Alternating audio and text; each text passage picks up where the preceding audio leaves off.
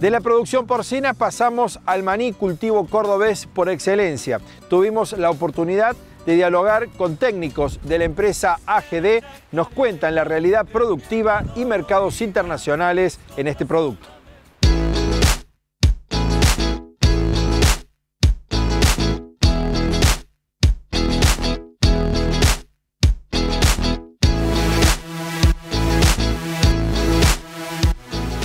Hoy está en un buen momento, la, parte comercial yo eh, no, es mi especialidad esto, escucho este, algunos conceptos, pero sé que la, exportación está, está, firme, está bien, este, con todo este también problema de, del coronavirus eh, no, no se ha parado la exportación, mientras no se cierren los puertos estamos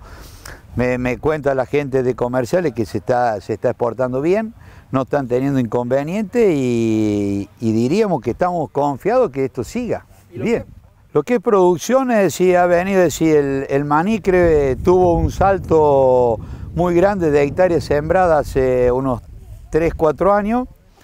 Este, y ahora estamos la tendencia que están teniendo todas las empresas si el año pasado eh, eh, se bajó el área de siembra y creo que este año vamos a estar manteniéndola decía, al área de siembra. No creo que haya, no, no hay motivo ni siquiera creo que comerciales para que tengamos ese exponencial de crecimiento de área de siembra. Este, así que creo que se va a mantener en los niveles de lo que está hablando la que, que hay en este momento de las 300 50 a 380 mil hectáreas que se siembran en todo el país, en el cual el 90% está sembrado en la provincia de Córdoba.